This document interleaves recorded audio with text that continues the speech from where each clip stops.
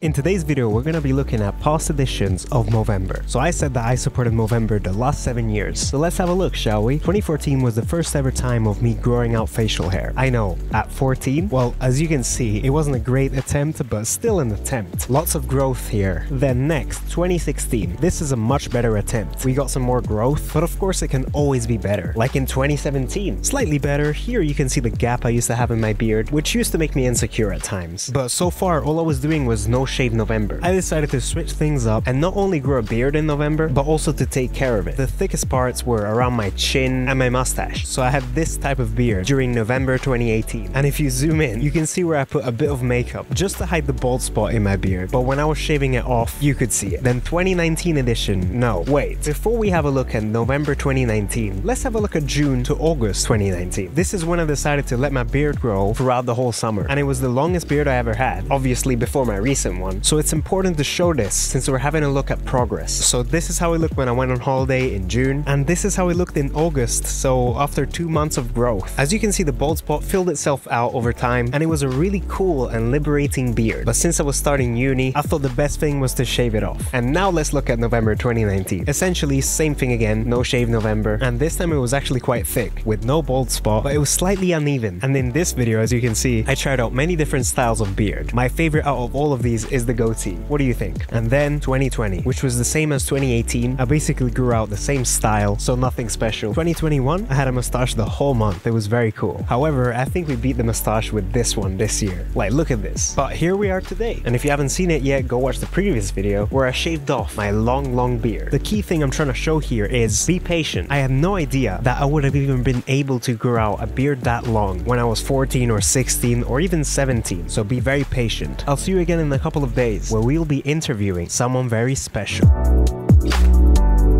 Bye bye. Alright, that's a wrap.